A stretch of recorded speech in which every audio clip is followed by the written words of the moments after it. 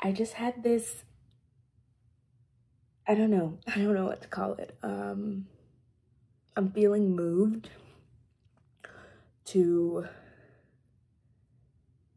give you, or I'm feeling moved to record my journey in 2021. I don't know what it's gonna look like. and I I don't like I don't I I have no idea.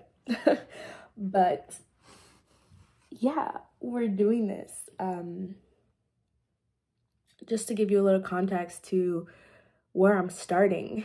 It is December. It is I think it's the week before Christmas and I just got done doing my purge.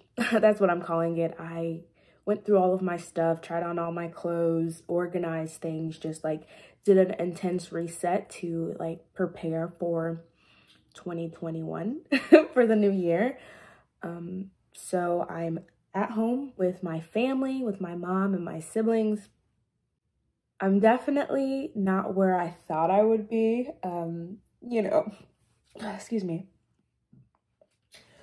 2020 really shook up my world. I dropped out of school.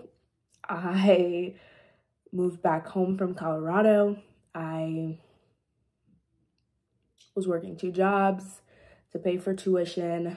I was preparing to pay off my student loans and all of that stuff. And now I feel like I'm completely in a different place. I've started my own business, Dewless Bloom which is a compilation of a lot of different things, but we have the Dewless Bloom podcast, we have the event aspect, we put on um, monthly, we, we put on monthly, why am I at a loss for words right now?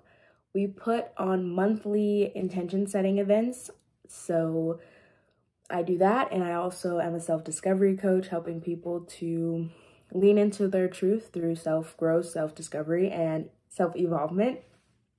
So those are my like three pillars, discovery, growth, and evolvement, and just putting all my energy there. My business started um, during 2021 and I kind of fell into it.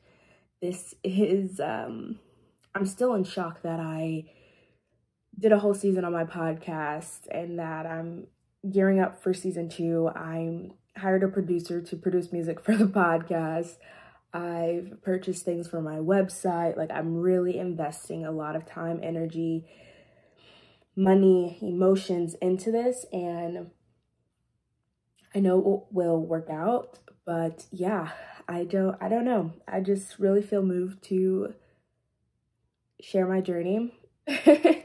and um I think this is a great way to do it. Um so let's just say this is week one um, of it all. Yeah, I'm excited. I, I don't know what else to say. I don't think this video is going to be very long. I was just laying in bed watching a few YouTube videos and I was like, I can do this. I can do this in a way that's going to be authentic and truthful and just a girl in her truth, you know? It's just me. it's just Bria. So, yeah, it's happening. This is the first video. Yeah.